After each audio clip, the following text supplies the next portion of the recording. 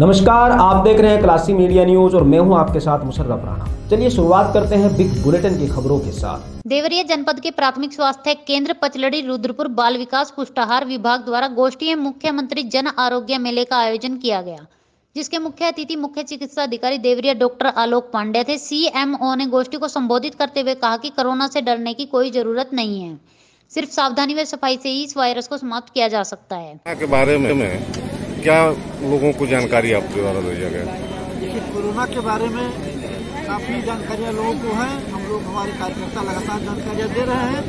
मैं पुनः बताना चाहूँगा कि कोरोना बीमारी जैसे और फ्लू है कॉमन फ्लू स्वाइन फ्लू है, उसी तरह की लगभग बीमारी है।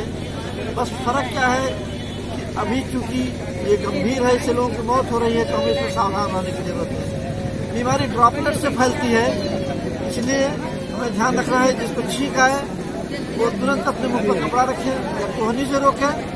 हाथ बार बार धोते रहें पैनिक एकदम नहीं हो मास्क की कोई ज़रूरत नहीं है। और अगर कोई कोरोना का पेशेंट आएगा भी तो हमारे यहाँ जाँच की इलाज की आइसोलेशन वार्ड की पूरी सुविधा है। कहीं कोई समस्या नहीं सारी सुविधाएँ आपके द्वार पर हैं। जिला अस्पताल में क्या व्यवस्था है इस हमारे जिला अस्पताल में दस बेड का एक आइसोलेशन वार्ड है। कल डीएम साहब ने भी देखा था और एकदम अच्छा है, आप पूर्णता सुरक्षित है, कहीं कोई दिक्कत नहीं।